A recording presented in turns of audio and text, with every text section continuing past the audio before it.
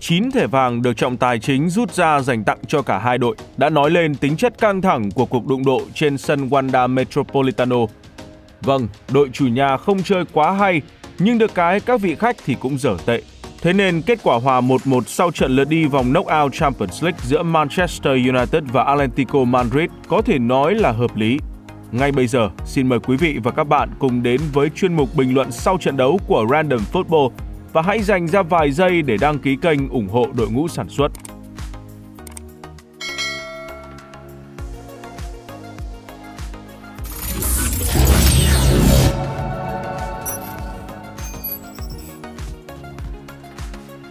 Thật không may cho Man United khi Scott McTominay bất ngờ bị bệnh và không có tên trong danh sách đăng ký thi đấu. Đó là lý do vì sao họ đưa Paul Pogba và Fred vào chơi ở trung tâm hàng tiền vệ trong sơ đồ 4-3-3 và đôi lúc là 4-2-3-1. Đối với Atlético Madrid, việc huấn luyện viên Diego Simeone sử dụng sơ đồ 4-4-2 với tiền vệ trái đá thấp đã cho thấy sự tôn trọng lớn dành cho bảy quỷ đỏ, đặc biệt là siêu sao Cristiano Ronaldo. Tuy nhiên, Atlético Madrid với lợi thế sân nhà đã sớm mở điểm ngay phút thứ 7 sau pha đánh đầu hoàn hảo của Hao Felix. Trong suốt hiệp thi đấu đầu tiên, có thể thấy Man United lép vế hơn đối thủ và chỉ có sự thay đổi nhân sự ở hàng tiền vệ sau giờ nghỉ giải lao mới giúp họ chơi khởi sắc hơn. Nemanja Matic vào sân thay Paul Pogba và từ đó các vị khách mới tạo ra được nhiều điểm tích cực trước khi gỡ hỏa.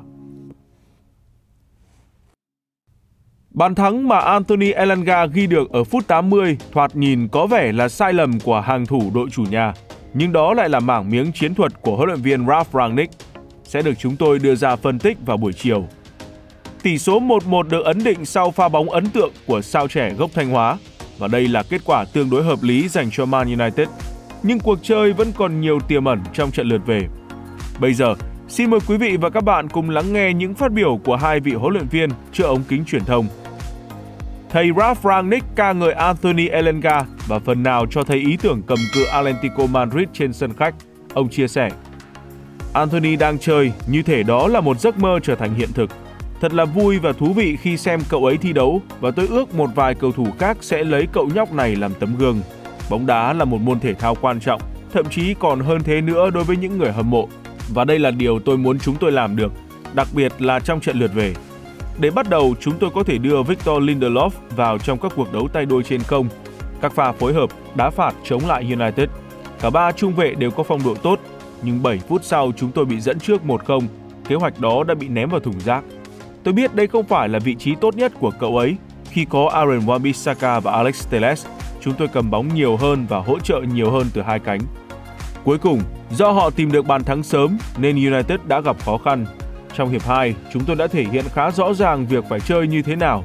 Bạn sẽ thấy một United khác trên sân nhà trước 75.000 người hâm mộ và hãy tin tưởng hơn những gì chúng tôi đã làm trong hiệp 1. Trong khi đó, huấn luyện viên Diego Simeone chia sẻ, Chúng tôi đã chơi trận đấu mà chúng tôi muốn với sức ép liên tục và toàn đội di chuyển rất tốt. Manchester United là một đội bóng rất mạnh. Thật không may trong hiệp 1, chúng tôi có thể khiến họ bị thương nhiều hơn khi quả bóng chạm xà ngang. Chúng tôi biết rằng trong các pha phản công, họ sẽ rất mạnh mẽ, rồi Griezmann cũng sút chúng xả ngang. Hơi đen, nhưng đó là bóng đá. Đây sẽ là một trận đấu mở và không có gì đẹp hơn khi được thi đấu trên sân Old Trafford. Bên cạnh đó, tiền vệ Kondogbia cũng có những nhận định trước ống kính truyền thông. Anh nói, Chúng tôi đã có một trận đấu tốt với cường độ cao trước một đội bóng mạnh với những cầu thủ tuyệt vời trên hàng tiền đạo. Lượt về sẽ là một trận đấu rất khó khăn, không dễ để giành chiến thắng tại Manchester. Sau các trận ở La Liga, chúng tôi sẽ nghĩ đến lượt về.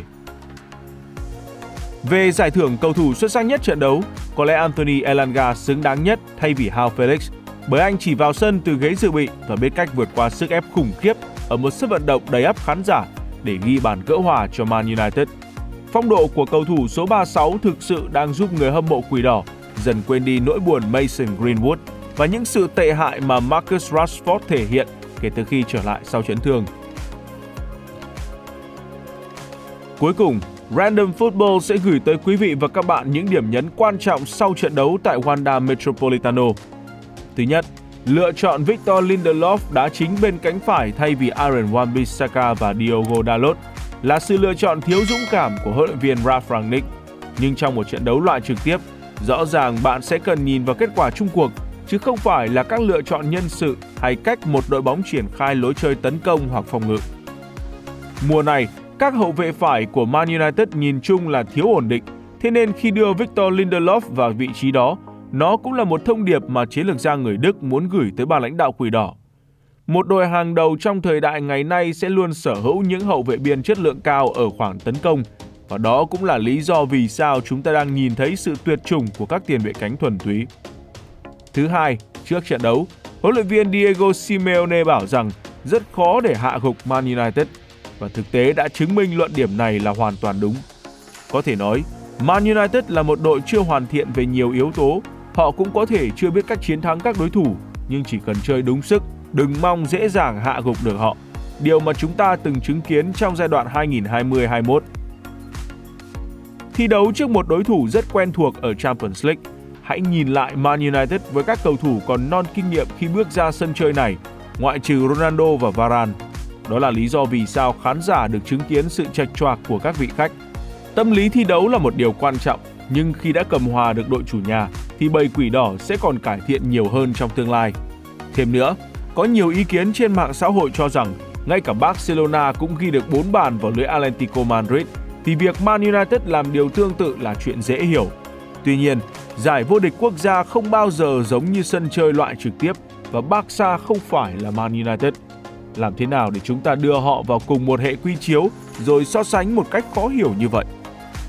Man United cầm hòa Atlético Madrid và có nhiều lợi thế khi tái đấu tại Old Trafford trong bối cảnh luật bàn thắng sân khách đã bị khai tử. Do vậy, không cần phải thắng đối phương ngay ở trận lượt đi nếu họ cũng là một đội bóng mạnh. Thủ hòa sau 90 phút và nghiệm thu công trình của Diego Simeone ở trận lượt về mới là điều hoàn hảo và Man United có thừa điều kiện để làm điều đó. Thứ ba, như đã nói ở phần đầu chương trình, việc huấn luyện viên Ralf Rangnick đưa Victor Lindelof vào đá chính bên cánh phải và Scott McTominay không thể ra sân đã chứng minh được cách mà chiến lược gia người Đức muốn chơi. Đó là một Man United phải có sự chắc chắn ngay cả khi họ thủng lưới sớm. Một bàn, hai bàn, ba bàn, thậm chí là bốn bàn vẫn có thể bị lật thì thủng lưới sớm chưa chắc đã là đội thất bại chung cuộc. Đặt giả sử, nếu bị cuốn vào lối chơi của Atlético Madrid, tỷ số có lẽ không dừng ở con số 1-0 và nếu thua hai bàn trở lên thì đương nhiên lượt về sẽ rất khó khăn vì cửa lật vẫn có nhưng sẽ hẹp hơn. Do vậy, việc Man United chơi tệ hay lép vế hay bất cứ điều gì không quan trọng bằng việc họ có được kết quả hòa trước nhà đương kim vô địch La Liga. Rồi thì lượt về làm gỏi đội bạn đâu có muộn. Cờ bạc ăn nhau về sáng, phải không quý vị? Thứ tư, nhận định ban đầu của chúng tôi là Man United không có cửa thua Atlético Madrid và quan điểm đó đang bắt đầu bộc phát sau trận lượt đi. Ở một sân chơi loại trực tiếp nhưng không tính luật bàn thắng sân khách, rõ ràng đá trên sân nhà là lợi thế rất lớn. Lượt đi coi như bỏ, hai đội sẽ làm lại tại Old Trafford và chắc chắn Man United sẽ có được tâm lý tốt hơn khi làm siếc ở nhà hát của những giấc mơ. Tuy nhiên, đánh giá chung thì chúng ta cũng cần thừa nhận rằng Man United hiện nay không ở đẳng cấp của Liverpool hay Man City. Sẽ còn rất lâu nữa họ mới có thể vươn tới cái tầm đó. Mà muốn làm được điều này, có lẽ họ phải thuê một huấn luyện viên theo thiên hướng kiểm soát như Eric Ten Hag hoặc Luis Enrique. Thật tiếc khi đội hình toàn sao như vậy mà chưa thể khiến người hâm mộ cảm thấy thoải mái. Dù vậy, bóng đá đôi khi cũng giống như cuộc đời. Đại nạn không chết tất có hậu phúc. Man United đã quá giặt dẹo trong những năm qua, nhưng chẳng ai biết họ sẽ làm được gì ở mùa giải năm nay. Mùa trước, Chelsea cũng từng chơi rất tệ và cuối cùng vô địch Champions League. Và nếu Man United có thể làm điều tương tự thì cũng là chuyện bình thường, dù khả năng đó tương đối khó tin.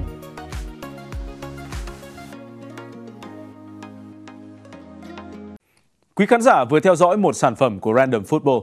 Hãy cho chúng tôi biết cảm nghĩ của các bạn bằng cách để lại bình luận ở bên dưới. Nếu hứng thú với video này, hãy ủng hộ đội ngũ sản xuất của Random Football bằng cách nhấn like và subscribe đăng ký theo dõi, cũng như bật chuông thông báo để không bỏ lỡ những video mới nhất trên kênh nhé. Còn bây giờ, xin chào tạm biệt và hẹn gặp lại.